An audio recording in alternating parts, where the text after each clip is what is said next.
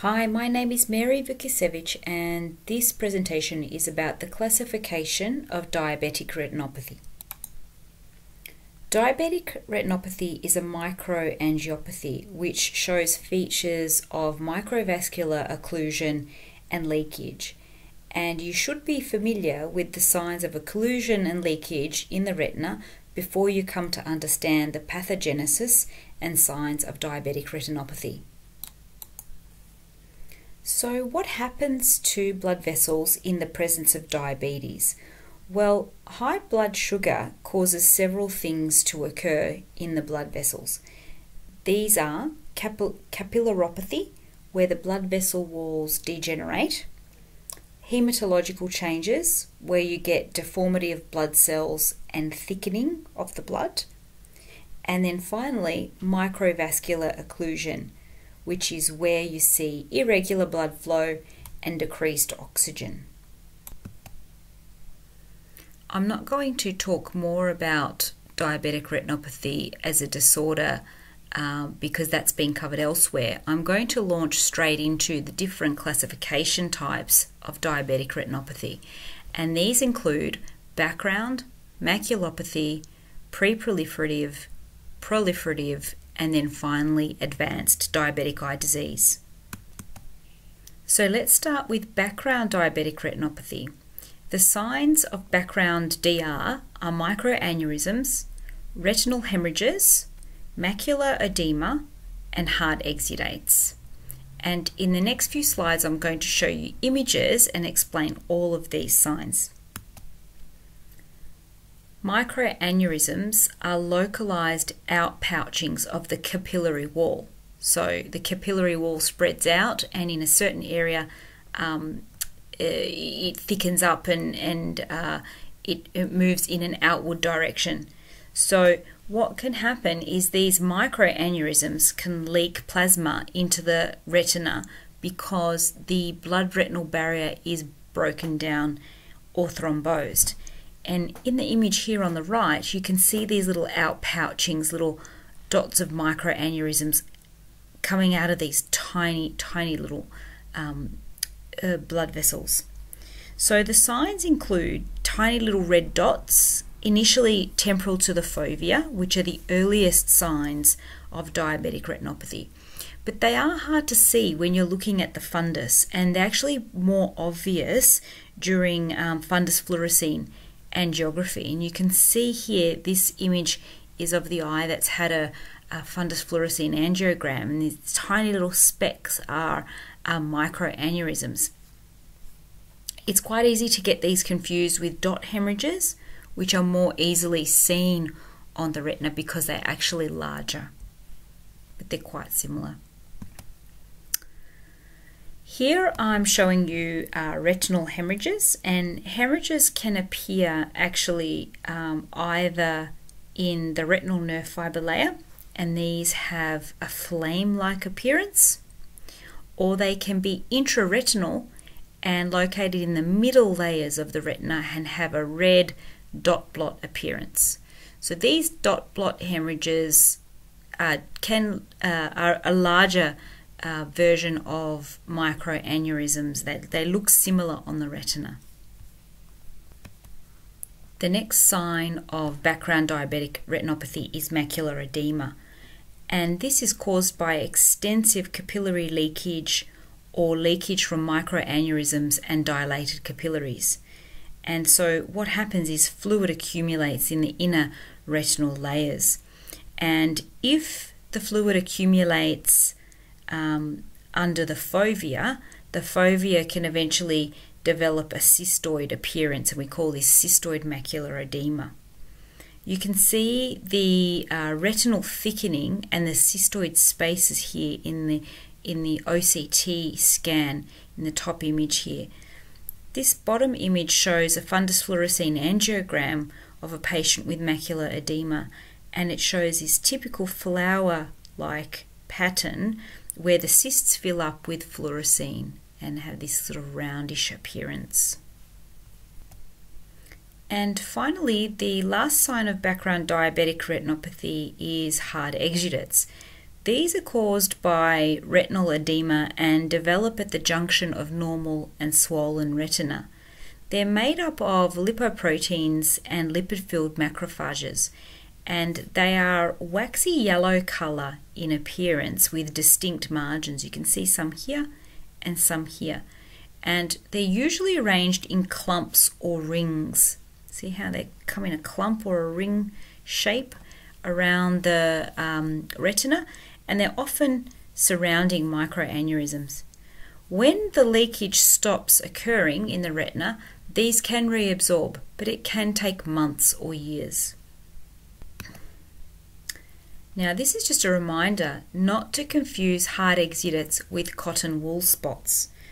Hard exudates are made up of lipids and they're very yellow in colour and often found close to the macula. Um, they have distinct margins and they result from blood vessel leakage. Cotton wool spots, on the other hand, are made up of axonal debris and they're more prominent around the optic nerve where the nerve fiber layer is thickest.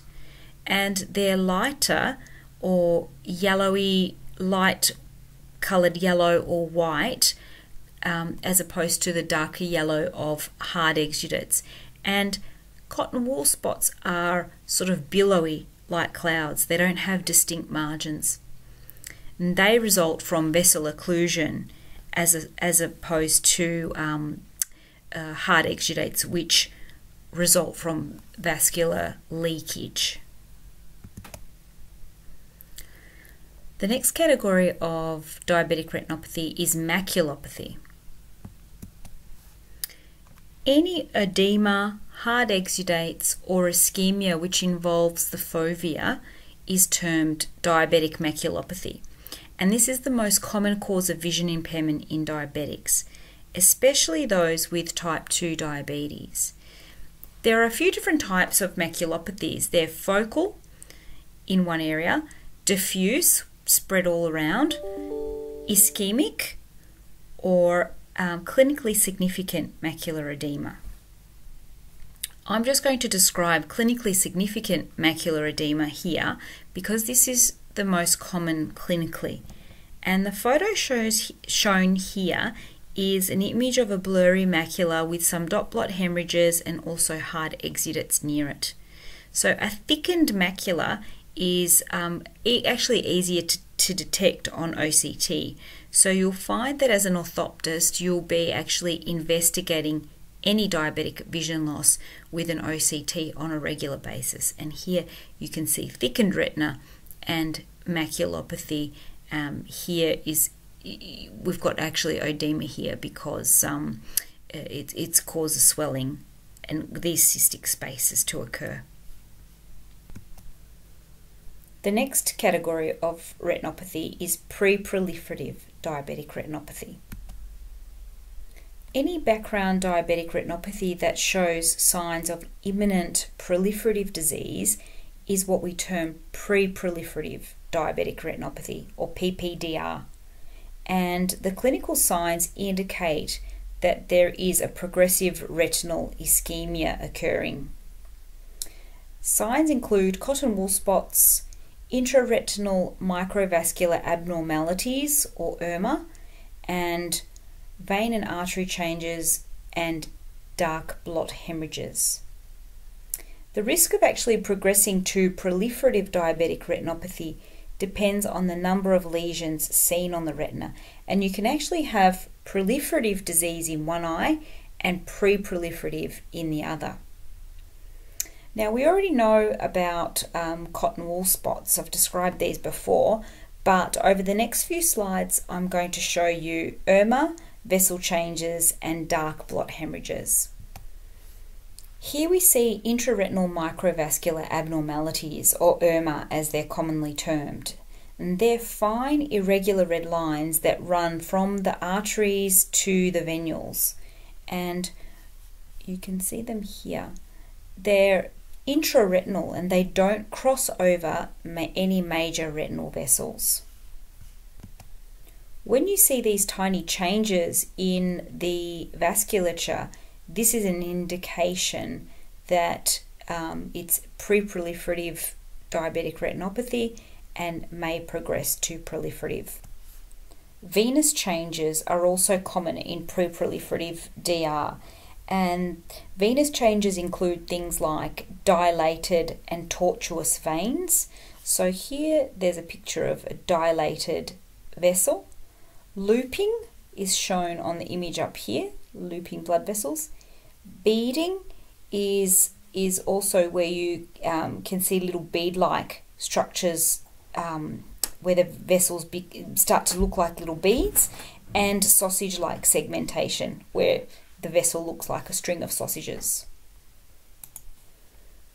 Artery changes in preproliferative diabetic retinopathy include peripheral narrowing of the arteries, something called silver wiring, where it looks like silver wire has been inserted into the um, artery itself, and then complete obliteration where it's actually missing and completely blocked. And there's as you can see in this image there's no blood getting through to this um, vessel at all and finally here we have dark blot hemorrhages which are hemorrhagic retinal infarcts and they're found in the middle retinal layers and they're just basically exactly as described dark blot hemorrhages bleeding into the retina.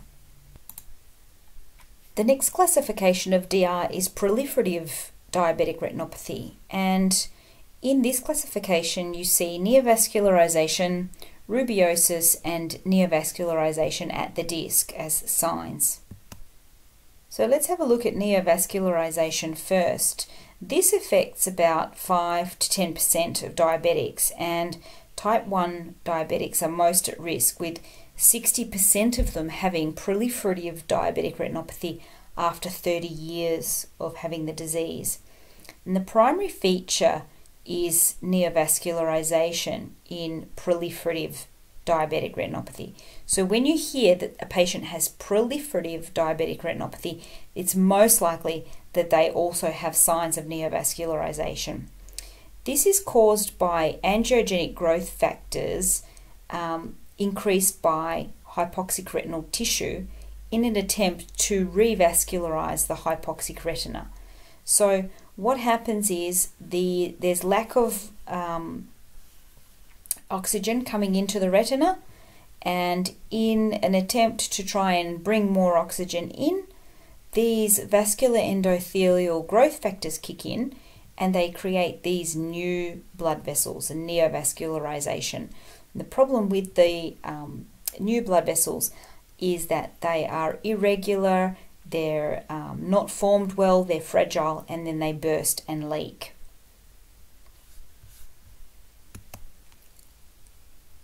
The sign of neovascularization is this mottled mess of very fine blood vessels seen on the retina. What you have to remember is that it's very easy to look into the eye and see the um, vasculature of the retina. But don't forget that this problem is potentially occurring all around the patient's body. It's just that you're able to visualize it uh, by looking into the eye. Rubeosis uh, occurs with proliferative diabetic retinopathy, and rubeosis is just simply also neovascularization, but it's neovascularization at the iris. As you can see there, new blood vessels growing in through the iris, and this is definitely not a normal state of affairs. And then the other place that you can get neovascularization is at the optic disc. So um, this is described as NVD, neovascularization at the disc. If you see the term NVE, um, in a patient's file, that stands for neovascularization elsewhere, and that means it's neovascularization occurring somewhere in the retina, not at the disc. Neovascularization at the disc is NVD. And you can see here in this photo, you can barely see the optic disc there because this mottled mass of uh, new blood vessels is is covering it. Here it's not so bad. There's just a little little area of neovascularization occurring here. And then the final category of diabetic retinopathy is advanced diabetic eye disease. And in advanced diabetic eye disease, it, this is in, indicative of a serious complication of diabetic retinopathy, we, in, which affects the vision, and it can occur in patients who have not had treatment or if treatment has not been successful. And these um, signs of advanced diabetic eye disease and their complications include things like hemorrhage, and you can see this extensive hemorrhage that's occurring here in this patient's eye. There's the optic disc, and this is the entire peripheral retina, uh, and the macula is around here somewhere, and it's a it's a it's an awful state of affairs because they um, they, they're going to lose quite a bit of vision here. Patients can also uh, develop tractional retinal detachments, and in this image here, we can see um, there's a ring of uh, retina which has been pulled away um, and pulled upwards as a result of um, a stiffening up process and, and, and, advanced diabetic eye disease. Patients can also develop uh, rubeosis, which I showed you in the previous image, and something called tractional retinoschisis too. So this is quite a severe form of uh, of diabetic retinopathy, the final stages of diabetic eye disease.